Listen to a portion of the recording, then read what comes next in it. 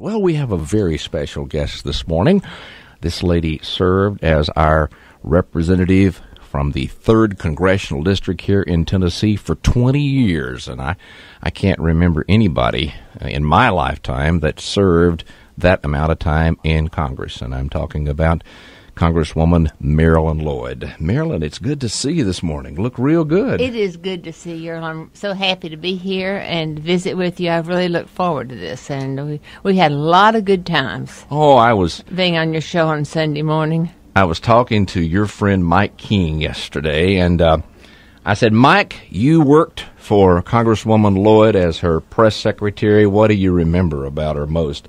He says she loved to work said she she never did anything that she asked us or she always did what she asked the staff to do. If if the staff, you know, had to be there 12 hours, you were there 13 hours. Sure. And I mean, Mike says I remember works. that. She was a she was a workhorse for the, That- people that of this we district. didn't we didn't keep hours, and you you did that practically every day of the week because you'd come home and you were making speeches and going to meetings and so It's, on. it is a seven day a week job, and of course, uh, the the trips home on every weekend were, were pretty hard. It would be hard for me to do that now. I think I served in the best of times, and I enjoyed it. I enjoyed my committee work and work that I could do here, and, and also the work that I was able to do for Oak Ridge in that area in, in the field of energy. So they were good times. We did good things, and now I'm happy to be home.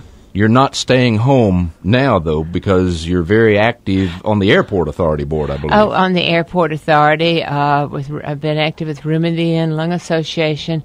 This year, I will be uh, chairman of the Race for the Cure. I'm looking forward. to I'll see you a lot this year because we certainly want to. Really push to have the biggest race for the cure that we've ever had.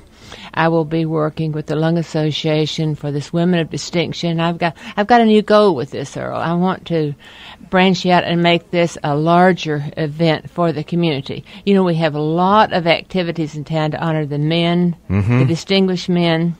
But this is the only thing that we do in the community that hon- seeks out and honors the women that have sacrificed and worked hard for our community to make this a big event to, to recognize the women that need to be recognized. And I will be working on that to make that a big event next year as well. So I've got a lot of things I'm I'm interested in, and life is good. Bring us up to date on our airport. I know we've had a lot of challenges over the last 15 years. Uh, the loss of Delta was was a big blow to this community. Oh, Where do we was, It was a terrible uh, loss to all of us.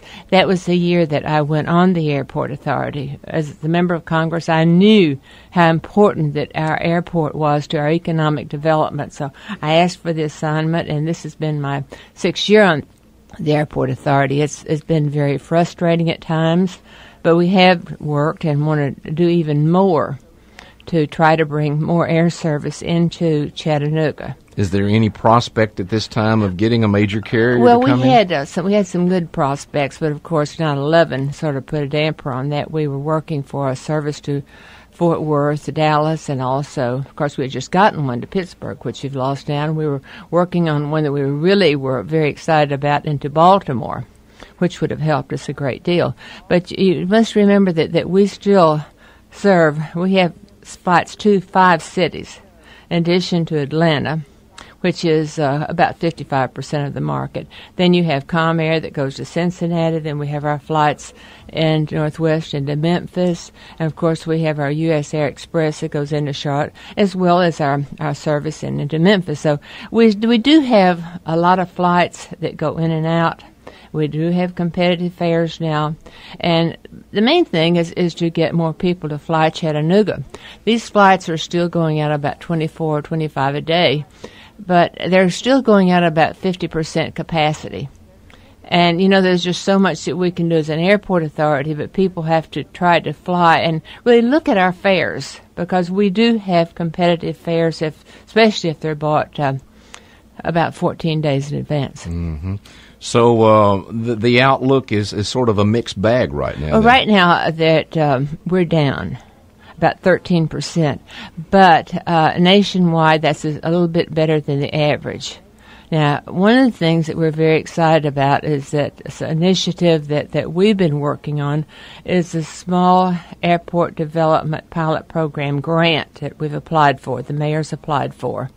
We've applied for 315000 and this will be used on marketing purposes. And as you know, the mayor has appointed a special uh, task force that will look at ways to, to spend this sort of money as incentives, perhaps to, to, to bring more airport air service into California before he went to Congress. And he knows the problems of small cities. And it's real. It is real. There can be delays, uh, and I must admit I get as frustrated as the next person because you fly a lot. I fly a lot, and and not counting the the flights I've made overseas, I'm over a two million miler. And and yes, I go to Atlanta and I get frustrated at times as everyone else does. But by and large, you have to look at how far we've come mm-hmm. and what, what what our goals are and what we're trying to do. Atlanta has been talking, and I think it's still in the talking stage, but maybe locating an airport somewhere between Chattanooga and Atlanta, uh, maybe around Calhoun or Adairsville. Would this have a negative impact on what we're trying to do here? I think that needs to be looked at very carefully. I don't think I could have all the answers to for us discuss this morning. But at the same time, I think we need to concentrate right now on making our airport in Chattanooga the best airport it can be. But we are dependable on we are dependable on, on what goes on in Atlanta. You know, I mean, they say when you die, you go through Atlanta. You know, that's true. Another thing, th- things will never be perfect. Earl. Yeah, yeah. My guest this morning is former Third District Congresswoman Marilyn Lloyd, and uh, we've been talking about the uh, the airport authority.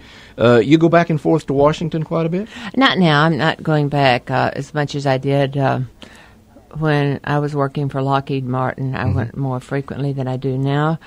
Are you still consulting with Lockheed any? No, you know they lost the Oak Ridge contract, mm-hmm.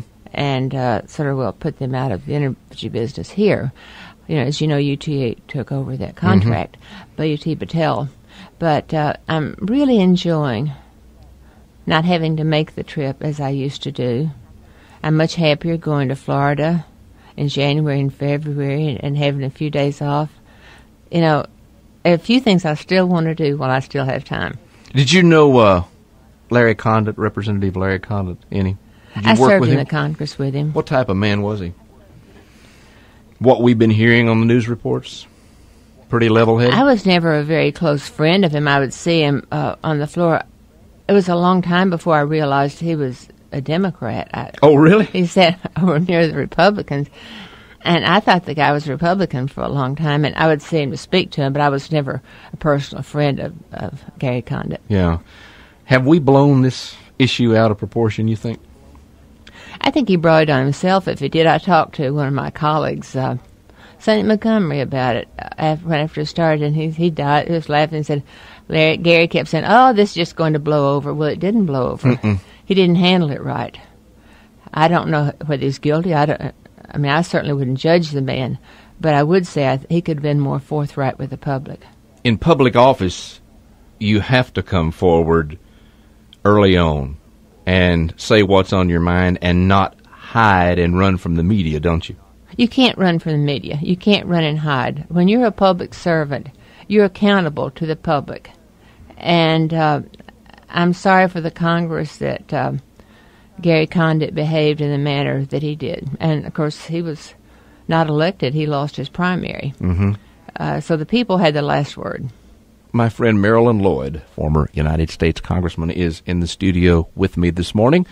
Marilyn, you started out back in high school doing radio, didn't you? Uh, yes, I enjoyed it. Uh, it was really very exciting. I taken public speaking lessons. We used to call them dramatic lessons back in those days. And um, don't want to date myself, but that's the way it was. And uh, I got a job working temporarily at the radio station. I liked it. And they would give me all the bad slots that nobody wanted that I did a lot of filling in. I enjoyed it very much. We still have some bad slots that nobody wants if you want a part time job.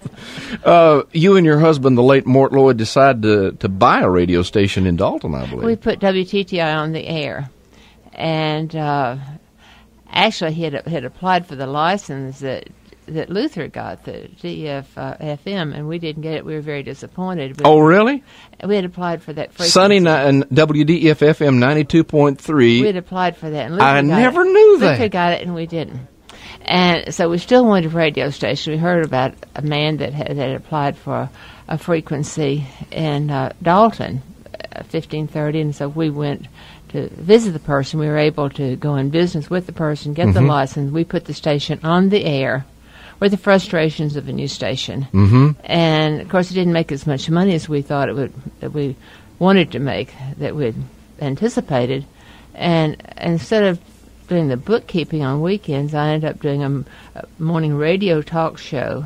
I sold advertising and recorded in the afternoon. So I had a very busy life with the radio station, but we did uh, sell it for a profit, so it worked out well. What was the name of your morning radio show? Morning with uh, Mort and Marilyn. A cute title. It was, uh, we had some household hints. Uh, Mort would read his poetry that he liked to do.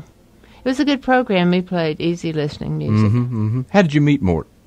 I met Mort through some mutual friends, and uh, he was a very distinguished, very caring person. Cared a lot about this community. And as you know, he was one of, of the original, really, not the original pilots, uh, but he really worked hard with Harry Porter to promote aviation in Chattanooga. Right, right. How did he get interested in TV? Well, that was before my time. He came to Chattanooga to do radio with WDEF, Uh huh. and he did the very first television broadcast in Chattanooga, and he maintained the number one rating for his entire life. Nobody could touch him. That's true. That's true. I, I remember. I remember you sit there and you. He didn't read the news to you. He told you the news. And uh, I think one of the really the great traits that made him a good announcer is he talked slowly and he would look at you, and he was easy to understand. Mm-hmm. And he had no big ego. He was just there to, to be your newsman. And the community liked him. They did, and but it was when you look at what a newsman did at that time, Earl, that that certainly uh, uh, doesn't take place now. Mort would go out with Tom Eason, and they would gather the news. They would come back, and they would develop the news film. Then they would put the news together and report it. Mm-hmm. And you look now at the vast news teams that we have, it's certainly uh, a different picture. It's an entirely different field. I guess in the wintertime, he never saw daylight, did he? At home? Not really. No, no. He uh, Leave he, early he in the morning and uh, he- get home late at uh, night? He didn't see the house in, in the daylight in the winter. We worked hard. How did he get interested in politics? Mort Lloyd was very dissatisfied with politics as as he saw it, and I think he saw it pretty well close up. He um, worked hard, I know, for Ralph Kelly's. He wanted to see him be mayor, but he was very dissatisfied with the representation in Washington, and he just said one day, "I'm going to do something about it." We had been um, flooded out. We had our home in Brainerd, and we were staying at a at a motel because the house was underwater, and we had the radio on, and, and the the present congressman said, "Oh, this is a beautiful day here in Washington, Luther. You should be here to see the cherry blossoms." And certainly, we weren't seeing any cherry blossoms, and we sort of felt that representative should have been at home looking after the people. So he decided that he would try to make a difference. That's right. And he won the Democratic primary. He, he won. He won the, the nomination. Yes, Right. of the Democrats. Okay. Where were you when you learned that his plane had gone down? I was in the campaign office by myself. Really? and I was as as much involved in the campaign as Mort was. We we were work we worked very hard together. We worked very hard at the radio station. We worked very hard together in the campaign, and we were a good team. And someone called and said, uh, "I just heard that Mort Lloyd's plane went down," not knowing that he was talking to me or, or that I was there by myself. And of course, after that, people did come in and But you were the you were the one to take the initial call at the campaign headquarters. That's right. It was Tom Hogue. Called me. Yeah. You remember Tom Hogue? Oh yeah. Tom was a reporter at Channel 12. That's right. hmm Uh, after his death, you decided that you would hit the campaign trail. I was pushed into it pretty quick, but uh, looking back, it was a decision that had to be made quick. That, that couldn't be made at a later time. That you had to go or go. And there were several of the Democrats, that, well, really the, very liberal Democrats who were very angry with me because they felt like it was a chance to win the election. And some of them is, went as far as to go to Washington and talk to my good friend, Congresswoman Lindy Boggs, and said, Don't you think you should talk her out of running? because we're going to lose this election for the Democrats. And she said, No, indeed, I won't talk that lady out of running. It really made the Washington seem pretty unhappy. Carl Albert sent me money. Uh, Lindy Boggs helped me. And after the election, Carl Albert called me, the, the present speaker, and he said, I told him that little lady was going to win that election. So I did get good support out of Washington and my friends here. And certainly then all the, the Democrats did rally. You told me though that when you had to make that decision, you told me years ago that you were scared. That uh, you said you said I was scared, yeah, but I, I, caught very on fast. I believe those were your words. I, I, I was scared, but I felt that uh, that this is something that that God had in His plan for me to do. hmm And you stayed in contact with the people for the entire time that you were there. I know you would call me quite a bit. Uh, a lot of people say, I got a call from Marilyn Lloyd today, just, you know, asking what was going on back in the district. Uh, you must have had a little book with telephone numbers in it, and uh, you frequently check with some of your friends. I did. I uh, especially on tough votes. I always called home. There's sometimes I voted with my party, sometimes I didn't vote with my party. But I tried my very best. Of course, I was never perfect, and I never will be perfect. But I did try my very best to represent the will of the people of this district as I saw it. You worked with five presidents President Ford, Carter, Reagan, Bush, and Clinton. Um, Don't tell me to rate them. well, let's start with President Carter. Good man, good moral man, but he had his problems with Congress, didn't he? Jimmy Carter, I think, is seeing his best days right now. He's doing good work. He's a true man of God, and I'm very grateful for him. My problem with Jimmy Carter was the Clinch River Breeder Reactor, which is my big project in Oak Ridge, and think where we might be today with our energy shortage and dependence on foreign oil if we'd been able to continue with the breeder reactor. Mm-hmm. And certainly, um, I think we'd, we would have a different ener- energy situation than we do right now. So you fought the White House on the Clinch River project. All the way. And one time I got him to go to take Air Force One down to Oak Ridge, and I rode down with him. He said, and Marilyn, I want to tell you one thing right now. You know that my mind is made up on Clinch River, and don't think that this trip is going to change my mind. He was very specific about it, and he didn't. But he listened. He he he uh, he was determined that uh, that that he well I think he sort of saw nuclear power as sort of an evil empire. He uh, he certainly was not the friend of nuclear uh, power. Uh, I didn't know Gerald Ford too well. I had defeated one of his uh, colleagues, and he didn't think I was all that great. But uh, but he was polite. He invited me to a rose garden party at one time.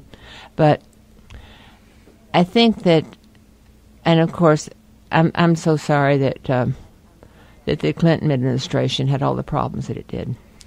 If if it wasn't for President Clinton's rendezvous with Monica Lewinsky, he would go down in history as probably better than average president, wouldn't he? Because he passed a lot of legislation that a Republican Congress sent him. Is that true? Well, if you look at the condition we were in, the- there was the economy was in the best condition it's ever been in the history of the country. Look where the stock market was, the unemployment rate has gone to zero. Our country was in the best shape it has ever been in, to my knowledge.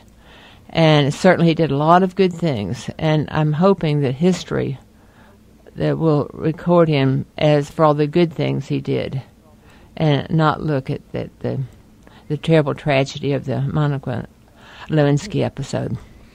Ronald Reagan and Marilyn Lloyd were on the opposite side of the fence some, but they also were on the same side of the fence. And I believe that you went to the White House several times while oh, President Reagan was. He was uh, he was still a Teflon president, Earl. He he got by with a lot, but he had a wonderful personality, and he. he I think he, he did a lot of good things. I think I really believe that he was having more problems with his memory than uh, most we people realized before really? he left. I know one time I was at the White House and I was sitting at the, the summer party for Congress, and I happened to be sitting at the same table. And I noticed some of the notes that they gave him when when he got up to speak. It made me think that he was having some problems at that time. But he served his country well. He used to call you on some of those key votes too, didn't he? Oh, they all did that. That's for sure. I guess I, I think that um, although we were on opposite sides politically, I have a great deal of respect and admiration for George Bush Sr. And he uh, he worked very hard to be a good president. And what I really feel that uh, he did not get credit for, that I would like to see more politicians get credit for, is he made his big statement, read my lips no more taxes. And yet, when the time came that he realized that there had to be a change in tax policy, he did it knowing full well he was going to lose the presidency. But he put what he thought was in the best interest of this country ahead of politics. And I would like to see more politicians do that. They tell us that a lot of the money is going for experimentation uh, you have firsthand knowledge about pharmaceuticals. I mean, it, it, it, it does really cost a lot of money to, to, to go to the laboratory and to try to develop a new drug, let's say for cancer. I mean, we, we all know that, that we've got to have new drugs for cancer because that's one of our uh, greatest health threats today.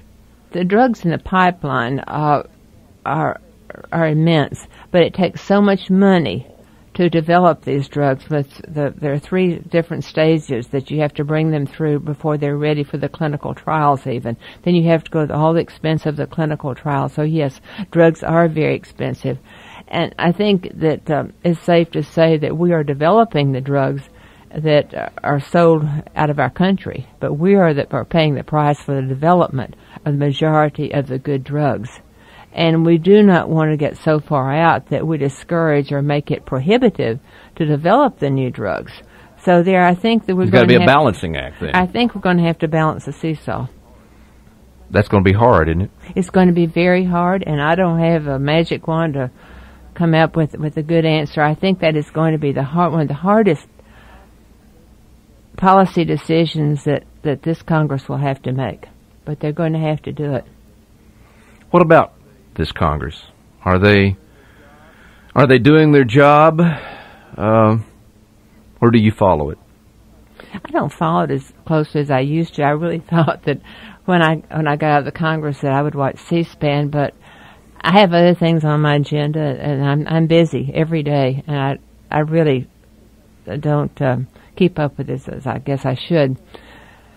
I think that uh, this will be a very political year, of course, when uh, the as if the uh, Democrats may take control back of, of the House of Representatives. They're going to work very hard to do so, and there's going to be a lot of money spent in this election. But this is a political year, and I was ho- that's why I really believe they will do something about prescription drugs. What about President Bush's W's job performance? You talked about all of the other presidents. What about our current president? Uh, you like his performance so far? I think he's done the best he can with the foreign situation. As you know, I didn't vote for him. I voted for Al Gore. But I think that he's certainly he's doing everything he's that he can possibly do at this present time. He's got a and I support him in his initiatives. He's got a potentially hot potato over there with Pakistan and India right now a very volatile situation. I hope that we're all praying. I would like to see us do more praying for our leaders at this time. That they will have the knowledge and have God's blessings and in, in their leadership. What about the Middle East? Jimmy Carter tried, got a PAC Uh, President Reagan tried, President Bush tried, President Clinton tried, now President Bush is trying, but they still fight. Uh, you have any Well, any hope for any type of agreement between the Israelis and the Palestinians? I don't see it on the horizon. I don't see it on the radar screen. But as you know, this has been going on for many generations. Yeah. But somehow I hope they can reach some peaceable agreement to stop the unnecessary bloodshed of the young people. That it's it's really beyond comprehension what we're we're hearing on the news today. After you after you stepped down after 20 years in Congress, did you have any desire maybe to run for another political office, maybe like senator? Not for a minute. Not for a minute. I'm I'm enjoying being home and doing a lot of things that I've never had time to do before. This will make this coming month will make 12 years that uh, I've been a breast cancer survivor, as you know. And I was given because was I was completely shocked and taken by surprise when I found out I had cancer, and I had a phase two breast cancer, and I was given a 50% chance of survival. So God's been very good to me. And I want to give back a lot that's been given to me. I, I work on, I'll be working on the race for the cure. I work for Room in the Inn. I, I, I try to give a lot back because a lot's been given to me. There's still a lot of things I want to do. When you learned that you might not lick that breast cancer, what went through your mind? You just do a lot of praying and turn it over to God. Soul searching, huh? You have to do a lot of praying. And I still do. This is something I pray about every day. You never stop praying for it. Even though after 12 years you uh, feel that the chances are pretty slim that, that it would, you would have recurrence, you still pray for it every day. And you also say, Dear God, thank you that I'm alive and show me where I can help someone today. Yeah. So there's a lot of things I want to do besides travel to Washington. But you still you still read the papers and follow a little bit about Oh, what's to be going sure, on. I'm involved in other campaigns. I'm going to meet Bob Clement in the morning for breakfast. I'm going to miss a luncheon Senator Clinton's having, but and I'm going to meet with Senator with um, uh, I guess he is Senator Lincoln Davis, who's running for Congress, and uh, I uh, will be helping Phil Bredesen. So I've got a full plate. You're going to work for the the Democrat ticket this yes, I will work this, this summer and fall. Ticket. Yeah. But I think uh, it's going to be a very hot political year this year. Bob Clement, Lamar Alexander, and Ed Bryant all have good names. They all have good names. Why are you supporting Bob Clement over the other two? Well, he's a Democrat and he's my colleague, and I believe he's the best choice. You think he's got the credentials for the job? I do, and I think you'll make. I think you'll make a good senator. Are you weighing in on this income tax question that is being debated over Nashville right now? I just wish that uh, we could put uh, the good of the state above politics. I'd like to see a few representatives say, you know, I know this is going to cost me my election, but I think it's right, and I'm going to do it anyway. Are you convinced the state is really in financial trouble? Sure, we know we needed the money out. I don't really understand where some of our uh, candidates are coming from because we know that we have a problem. And um, as Phil Bredesen said, that he wants to get in there and, and see where he can make some changes. And then if we have to find additional sources of income, that we can do that. But the present time, we've got a problem and we need to fix it and perhaps it, one of the gubernatorial candidates have better ideas, but they're they're not elected yet. We've got to solve the problems right now. Would you say that this legislature might be taking a wimpish approach and not really stepping up to the plate and uh, and, and trying to hit the ball and uh, uh, score a home run for Tennessee? I think that's been said many times.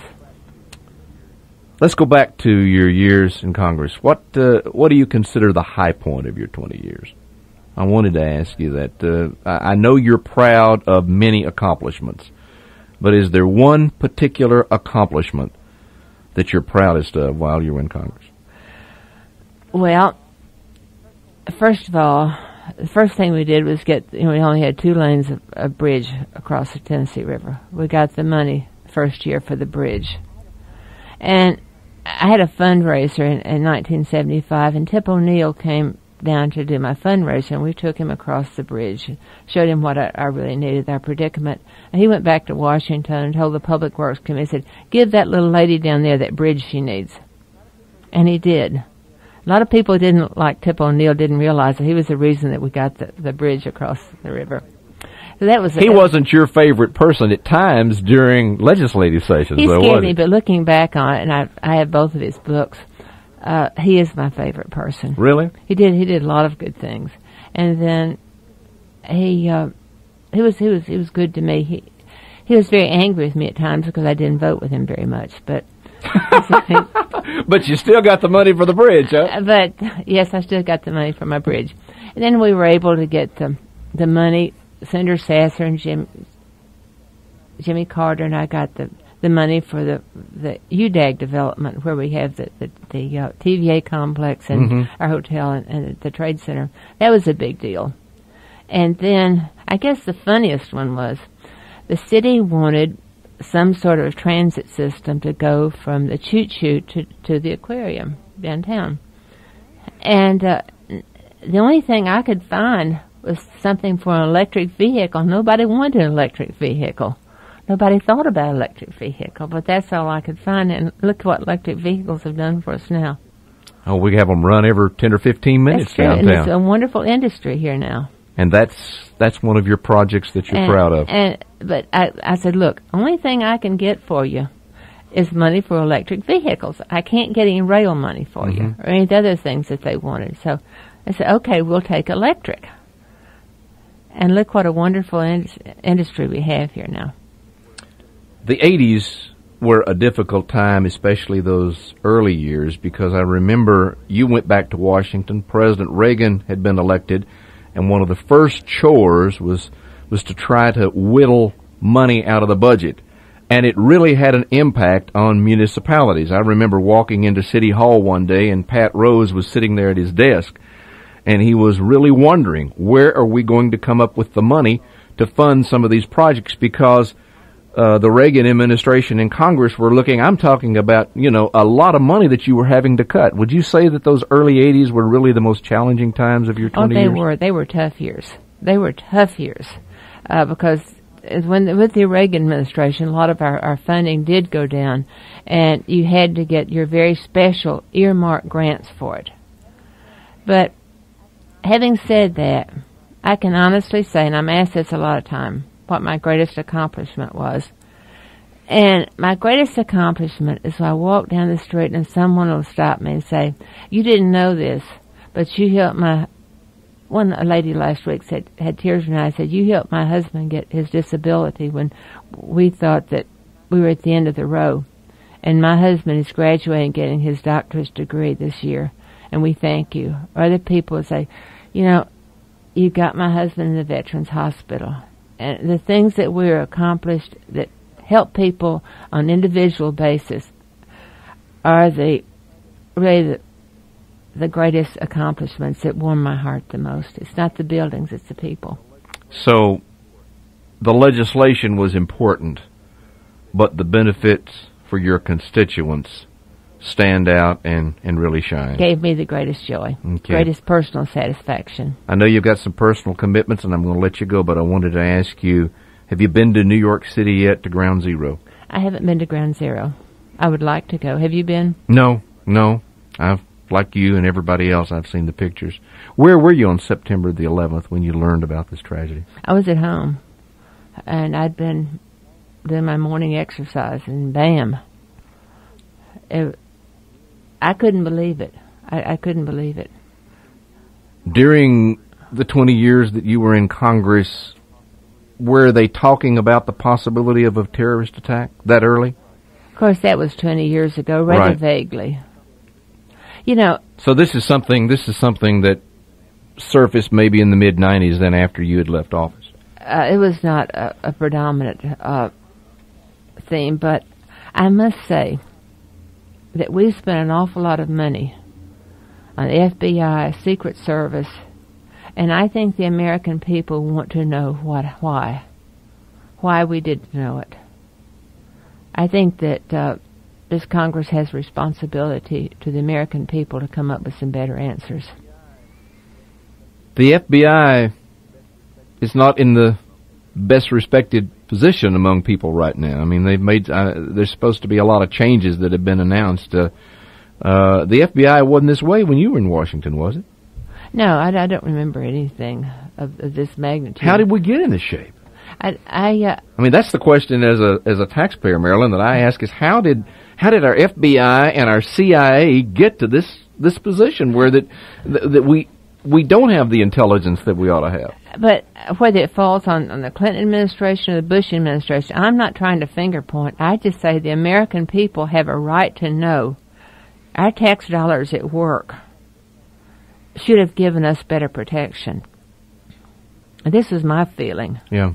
On September the 11th. And the greatest tragedy in the history of our country has happened and I think the American people want some answers. I want to thank you for coming down and uh, sharing uh, in an hour, sort of uh, a little "This Is Your Life." Uh, I've had a great time with you. I didn't know. I didn't know. There's one thing you said this morning. I didn't know that WDEF beat out Mort and Marilyn Lloyd for the license for that FM station. Now that's something that I will remember the rest of my life. I didn't know that. Best wishes to I've you. I've had a good time with you. Godspeed, and uh, you. And you're doing a great job. I love your music. I love your station. I love the way you do your commercials. You do, you like that, huh? One of these days we're going to have to go to the Riverside Catfish House. We'll do that, All and right. I gotta go see what Earl Moroden's got on the show. bye bye. Thank you, Marilyn Lloyd, ladies and gentlemen.